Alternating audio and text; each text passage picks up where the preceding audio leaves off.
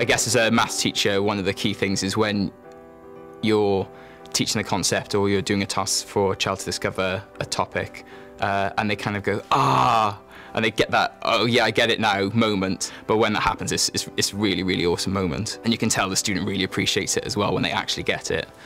I think when you, when you walk out of a, when you walk out of a lesson and you kind of had a fantastic lesson and you just think, yeah, that's why I'm a teacher. That's a really, really great feeling. Go home feeling really special when that happens. So I didn't go straight into teaching. Uh, I did a few office jobs in London first. I found them kind of quite unfulfilling and I did have this kind of like nagging pull back towards teaching for those reasons and I retrained two years ago. Uh, went back to university um, and I actually found the kind of financial support at university uh, really surprising even coming from working in the city. It would definitely be something that I would recommend to someone considering going into teaching.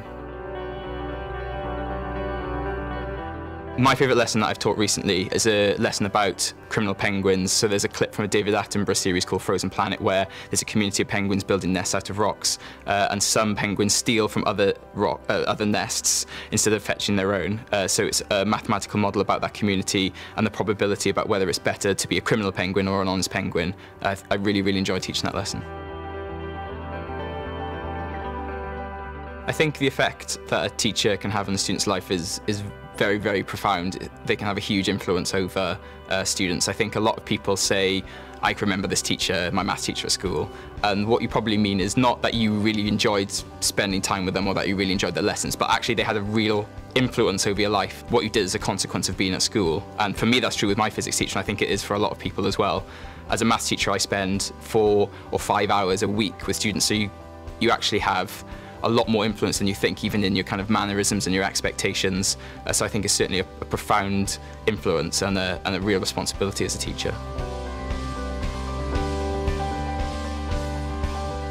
The most important thing for me when recommending teaching to someone else is how fun it can be. Building the relationship with students and the staff, working with such um, passionate people about their subjects and the amount you can learn as a teacher as well. I think that kind of transcends all the things about being a teacher is enjoying learning uh, and trying to enjoy your job and have fun uh, and ultimately have a bit of sense of humour about what you do as well. I think that's that's the really key thing for me, what kind of what keeps me going, and I really enjoy that aspect. So that's what I would say to a kind of prospective trainee teacher. Um, it's incredibly, incredibly satisfying when it goes well. You do have to be resilient to when you don't have uh, fantastic lessons. You know, no teacher's going to be teaching perfect lessons, lesson after lesson after lesson. You have to manage your own resilience as well. Um, so you have to be very reflective about yourself and how you can get the best out of yourself and the, and the children as well. But mainly, it's, it's, it's very, very satisfying.